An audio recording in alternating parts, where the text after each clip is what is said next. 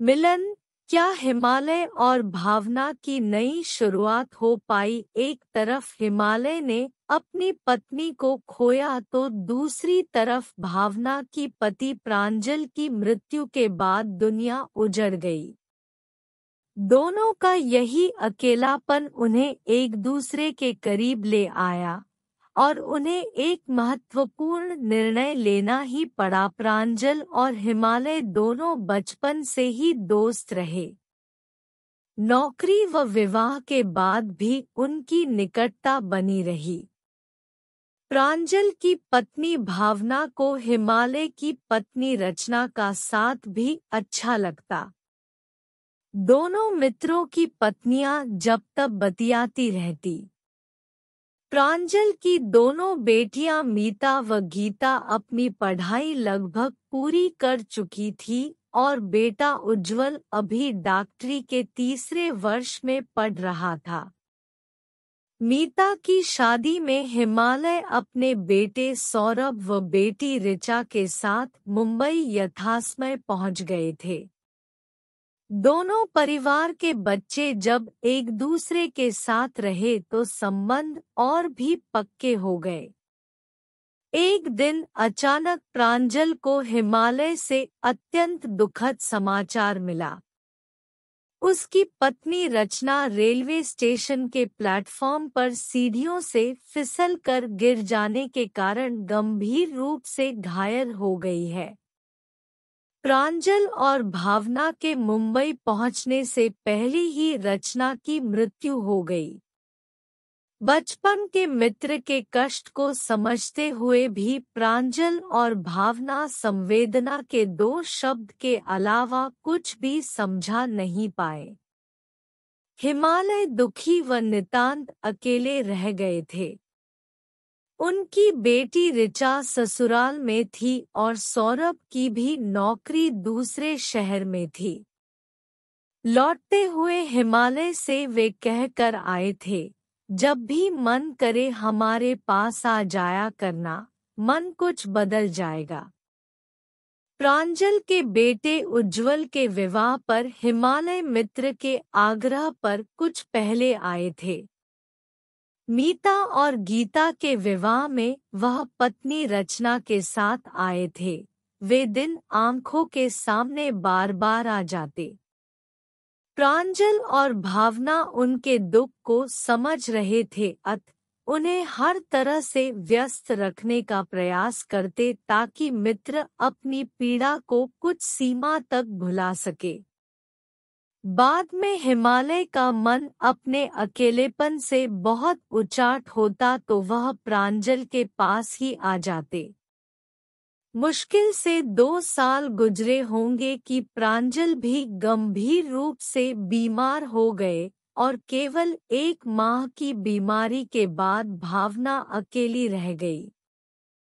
बेटियाँ और उज्जवल भावना को बारी बारी से अपने साथ ले भी गए, पर वह तीन से चार महीने में घूम फिर कर दोबारा अपने घरौंदे में वापस आ गई, पति के साथ सुख दुख की यादों के बीच। उसे घर में हर तरफ़ प्रांजल ही दिखाई पड़ते। कभी ऐसा आभास होता कि प्रांजल किचन में उसके पीछे आकर खड़े हैं। और दूसरे ही क्षण उसे लगता जैसे प्रांजल उसे समझा रहे हैं कि मैं तुमसे दूर नहीं हूँ भावना, बल्कि तुम्हारे बिल्कुल पास हूँ और भावना चौक पड़ती। भावना का अपने बच्चों के पास मन नहीं लगा। जब हिमालय ने यह सुना तो हिम्मत करके कुछ दिन का अवकाश लेकर भावना के पास आए। उन्हें देखकर भावना बिफर पड़ी, प्रांजल की यादें जो ताज़ा हो गई। जब रचना नहीं रही और हिमालय आते तो प्रांजल बार बार भावना से कहते, मैं चाहता हूँ जो चीज़ें नाश्ते व भोजन में हिमालय को पसंद है, वही बने। जब तक वह हमारे साथ है, हम उसकी ही पसंद का खाना व नाश्ता करेंगे। भावना प्रांजल की बात इसलिए नहीं रखती कि हिमालय उसके पति के दोस्त है, बल्कि इसका दूसरा कारण भी था कि रचना की मृत्यु से हिमालय के प्रति उसे गहरी सहानुभूति हो गई थी। लेकिन अब अब सब कुछ परिवर्तित रूप में था, अब भावना किचन में घुसती ही नहीं। हिमालय ही जो कुछ बना सकते थे, बना लेते पर खाते दोनों साथ साथ भावना ने काफ़ी समय तक बातें भी न के बराबर की। हिमालय कहते तो वह तटस्थ सी सुनती। जवाब नपेतुले शब्दों में देती। हिमालय स्वयं चोट खाए हुए थे, इसलिए भावना की पीड़ा को समझते थे। वह उसे समझाने का प्रयास ज़रूर करते। जीवन मृत्यु में किसी का दखल नहीं चलता। इंसान खुद परिस्थितियों के अनुसार जीवन व्यतीत करने को मजबूर है। घाव कुछ हल्का होने पर इंसान स्वयं अपने आसपास छोटी मोटी खुशियाँ खोजने का प्रयास करे। हमें इस तथ्य को अपना कर ही चलना होगा। भावना जी। भावना की आँखों से बस आँसू टपकते रहते, वह बोलती कुछ नहीं। हिमालय जाने लगे तो भावना से यह वादा ज़रूर लिया कि वह अपने खाने पीने का पूरा ध्यान रखेगी। मन ठीक नहीं है तो क्या तन को स्वस्थ रखना ज़रूरी है? समय के मरहम से भावना का घाव भरा तो हिमालय का जब तब आना उसे अच्छा लगने लगा। बातें भी करनी शुरू कर दी। नाश्ता भोजन भी उनके पसंद का बनाने लगी। हिमालय को भी भावना के यहाँ आना अच्छा लगता। मीता, गीता व उज्जवल भावना से मिलने आए हुए थे। तभी हिमालय भी आ गए थे। बेटियाँ चाह रही थी कि माँ उनके साथ या भाई के साथ चले, लेकिन भावना तैयार नहीं हुई। उनका कहना था कि उन्हें अपने इसी घर में अच्छा लगता है। बच्चे माँ को समझ रहे थे, जहाँ उन्हें अच्छा लगे वहीं रहें। हाँ उन्हें इस बात का अंदाज़ा ज़रूर लग गया था कि हिमालय अंकल के यहाँ रहने से माँ के मन को कुछ ठीक लगता है। अंकल बरसों से उनके पारिवारिक मित्र रहे हैं और काफ़ी समय उन लोगों ने साथ साथ गुजारा भी है।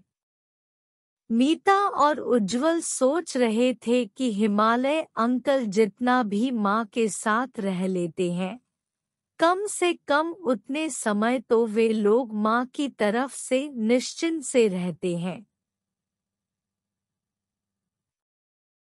वैसे बच्चे चाहते कि उनमें से कोई एक माँ के पास अवश्य रहे, लेकिन जब यह संभव नहीं था तो वे हिमालय अंकल पर ही निर्भर होने लगे और सागरा उनसे कहते भी, अंकल हम माँ पर किसी प्रकार का दबाव नहीं डालना चाहते पर आपसे आग्रह करते हैं कि उनका हालचाल पूछते रहेंगे। हम लोग भी यथासंभव शीघ्र आने का प्रयास करते रहेंगे। एक दिन हिमालय ने हिम्मत करके कहा, भावना, मैं समझता हूँ कि तुम्हारा कष्ट ऐसा है जिसका भागीदार कोई नहीं हो सकता। फिर भी हिम्मत करके कह रहा हूँ, यदि आप अपने जीवन में किसी हैसियत से मुझे शामिल करना चाहो तो मैं आपकी शर्तों के साथ आपको स्वीकार करने को सहर्ष तैयार हूँ। इससे न केवल एक को बल्कि दोनों को सहारा और बल मिलेगा।